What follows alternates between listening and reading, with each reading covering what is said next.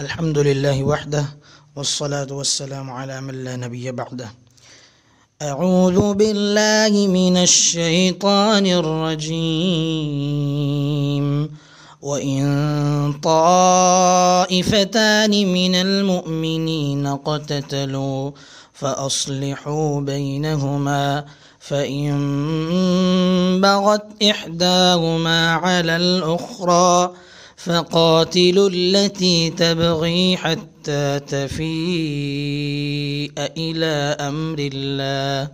فإن فاءت فأصلحوا بينهما بالعدل وأقسطوا إن الله يحب المقسطين. اور اگر ایمان والوں کے دو گروہ آپس میں لڑ پڑیں تو دونوں کے درمیان صلح کرا دو پھر اگر دونوں میں سے ایک دوسرے پر زیادتی کرے، تو اس گروہ سے لڑو جو زیادتی کرتا ہے۔ یہاں تک کہ وہ اللہ کے حکم کی طرف پلٹ آئیں۔ پھر اگر وہ پلٹ آئے، تو دونوں کے درمیان صلح کرا دو اور انصاف کے ساتھ کرو۔ بے شک اللہ تعالیٰ انصاف کرنے والوں سے محبت کرتا ہے۔ وَإِن طَائِفَتَانِ مِنَ الْمُؤْمِنِينَ قَتَتَلُوا فَأَصْلِحُوا بَيْنَهُمَا۔ تو گزشتہ آیات میں اللہ تعالیٰ نے ایک آیت یہ بھی بیان کی کہ کوئی فاسق اگر خبر دے تو اس کی خبر کی تحقیق کر لیا کرو۔ کہیں ایسا نہ ہو کہ اس کی خبر پر اعتماد کر کے تم آپس میں لڑنا پڑو۔ تو فاسق لوگوں کی خبر پر بلا تحقیق اعتماد کر لینے سے کئی دفعہ آپس میں لڑائی ہو جاتی ہے، پیش بندی کے باوجود لڑائی وہاں ہو جاتی ہے۔ تو اللہ تعالیٰ نے اس آیت میں اس لڑائی یعنی مسلمانوں کے درمیان ہو جانے والی لڑائی کو صلح میں کیسے تبدیل کیا جا سکتا ہے اور اس کو پرامن طریقے سے آپس میں ایک دوسرے کے ساتھ کیسے دوبارہ صلح کروائی جا سکتی ہے، اللہ تعالیٰ نے یہ بیان فرمایا ہے۔ سہل بن سعد، رسول گرامی صلی اللہ علیہ وآلہ وسلم سے روایت کرتے ہیں کہ وہ فرماتے ہیں کہ ان اہل قباء اقتتلوا حتى تراموا بالحجارة فأخبر رسول الله صلى الله عليه وآله وسلم بذلك فقال اذهبوا بنا نصلح بینہم، کہ قبا کے رہنے والے لڑ پڑے، حتیٰ کہ انہوں نے ایک دوسرے پر پتھر پھینکے۔ رسول اللہ صلی اللہ علیہ وآلہ وسلم کو خبر ملی تو آپ نے فرمایا، ہمارے ساتھ چلو تاکہ ہم ان دونوں کے درمیان صلح کروا دیں۔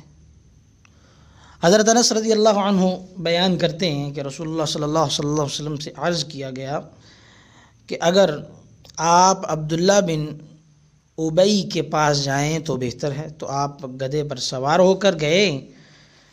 مسلمان بھی آپ کے ساتھ پیدل چلنے لگے۔ وہ زمین شور والی تھی۔ جب اللہ کے رسول اس کے پاس آئے تو وہ کہنے لگا، مجھ سے دور رہو۔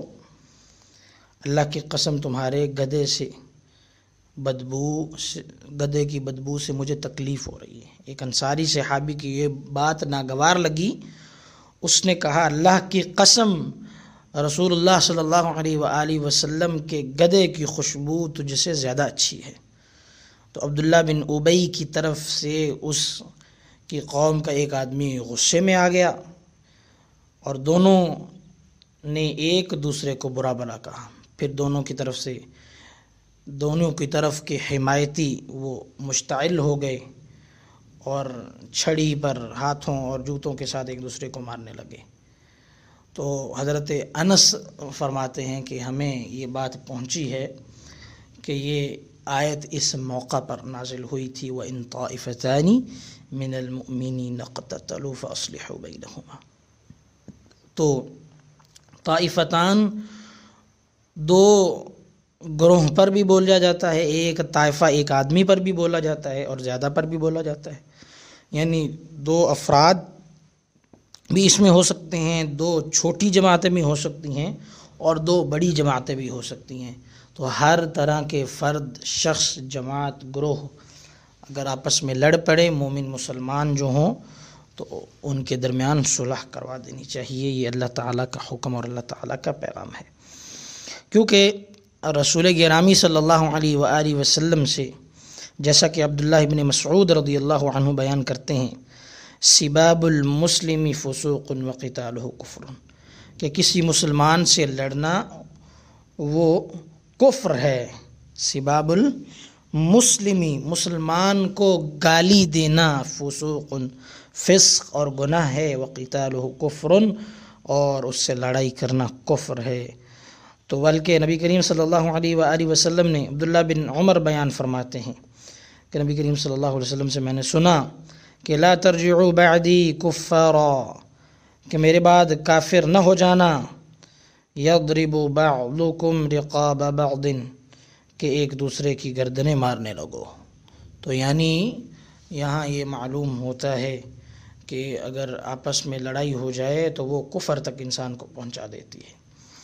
تو اس آیت کی روح سے، جو کہ امام بخاری نے اور دوسرے آئمہ نے اس آیت سے نقطہ اخذ کیا ہے کہ اگر دو جماعتیں آپس میں لڑ پڑیں، تو چاہے جتنا لڑ پڑیں، اس کے باوجود وہ دونوں جماعتیں، وہ دونوں گروہ، وہ مسلمان مومن اور مسلمان ہی رہتے ہیں۔ اسلام سے خارج اور مرتد نہیں ہوتے، کیونکہ اللہ تعالیٰ نے دونوں فریقوں کو مومن قرار دیا ہے۔ وہ انطافانی من المؤمنین قتتلو اور آگے اگلی آیت میں اللہ تعالیٰ نے بھی فرمایا انم المؤمنون اخوا مومن تو آپس میں بھائی بھائی ہوتے ہیں۔ اگر کسی وجہ سے ان میں تکرار ہو جاتا ہے، لڑائی ہو جاتی ہے، تو فَأَصْلِحُوا بَيْنَ أَخَوَيْكُمْ۔ تم ان اپنے بھائیوں کے درمیان سلوح کروا دو۔ تو یہاں اللہ تعالیٰ نے قاتل کو مقتول کا وارث مقتول کے وارث کا بھائی قرار دیا ہے۔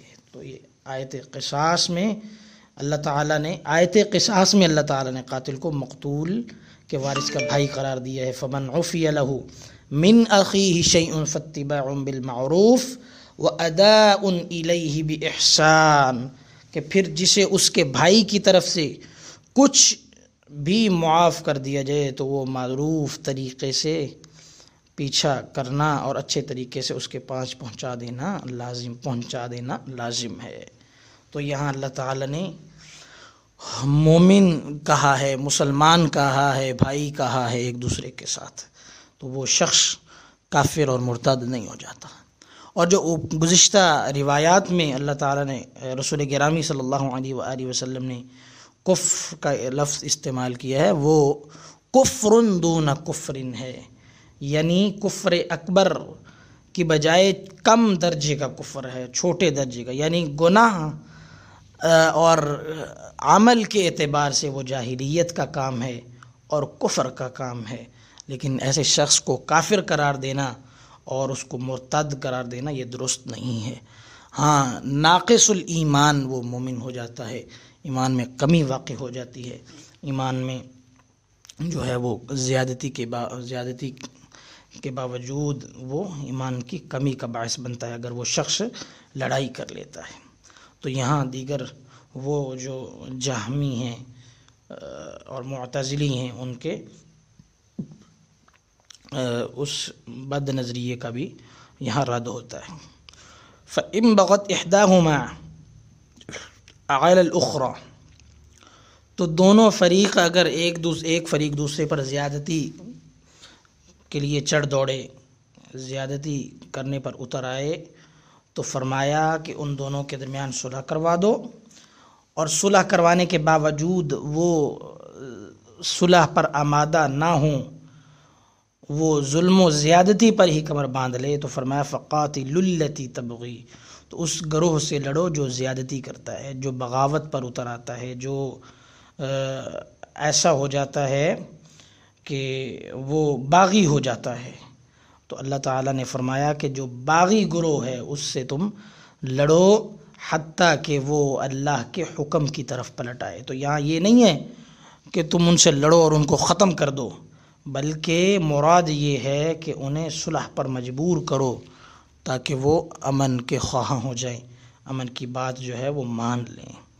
تو یہ آیت مسلمانوں کی باہمی جنگ کے بارے میں شرعی فیصلوں کی بنیاد ہے۔ یعنی اگر مسلمان آپس میں لڑیں گے تو اس کا نقصان کفار کو ہوگا، جہاد رک جائے گا، امن خراب ہو جائے گا، معیشت کے تباہ ہونے کا خطرہ ہے، افرادی قوت ختم ہو جائے گی۔